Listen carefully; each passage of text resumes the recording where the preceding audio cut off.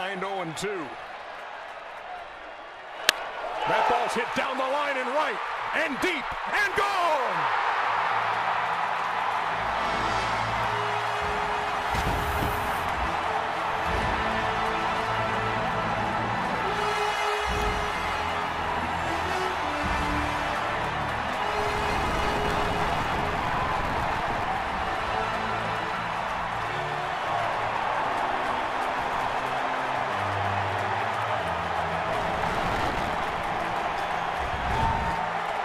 Well, if you're worried that the Texas Rangers would not be ready to play, they are showing it in this first inning. A hanging slider from CC Sabathia and a line drive home run from Hamilton.